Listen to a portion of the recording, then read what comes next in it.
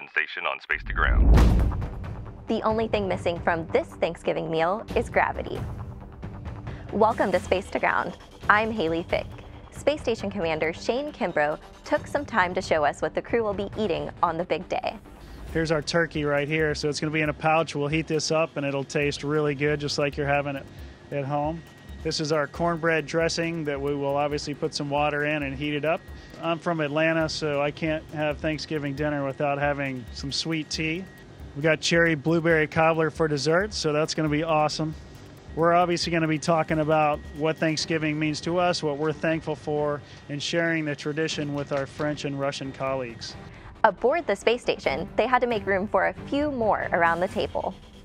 The Expedition 50 crew doubled in size with the arrival of Peggy Whitson, Oleg Novitsky, and Thomas Pesquet on Saturday.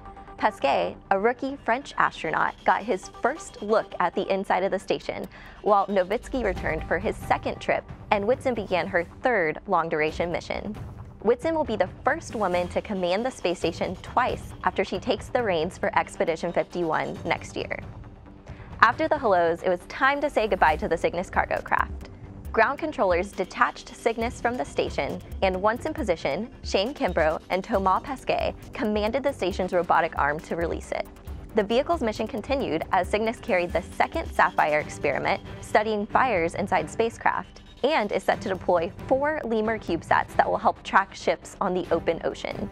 Cygnus arrived as a cornucopia of supplies and science on October 23rd, and will meet its fiery end as it burns up in the atmosphere over the Pacific Ocean on Sunday. Keep following at space underscore station on Twitter and International Space Station on Facebook for updates. We'll see you next week.